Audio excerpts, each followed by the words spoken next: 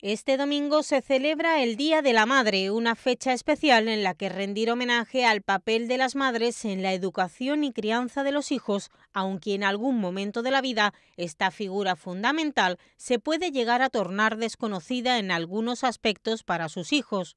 Porque, ¿qué saben los ceutíes de sus madres? ¿De qué color tiene los ojos tu madre? Eh, marrones. Verde kaki. Marrones. Marrones, marrones. Castaño. Marrones. ¿Cuántos años tiene?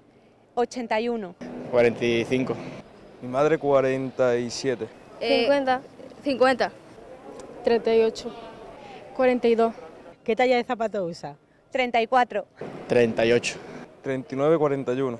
Eh, 38 por ahí, 38. 38. 37. 40.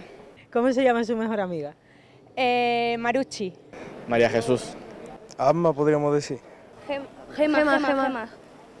Eh, Fátima. Eh, se llama Neira.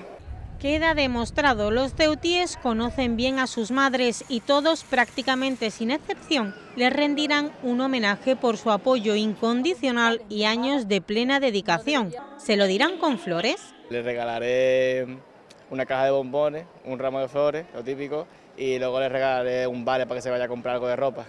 Hay tantas opciones para regalar como colores y gustos, desde los perfumes que nunca fallan hasta las joyas de colección mamá, pasando por los complementos de moda y las cestas de desayuno. Un collar. Eh, algo de ropa, perfume. ropita y cosas de esas, seguramente, Sí. o maquillaje, lo que Sí. le gusta. Co- un collar. Pero además los regalos evolucionan a la vez que lo hace la sociedad y también hay quien regala momentos, canciones e incluso estrellas. Aunque al final lo importante ni es la originalidad ni el regalo en sí, Lo de siempre, amor y cariño.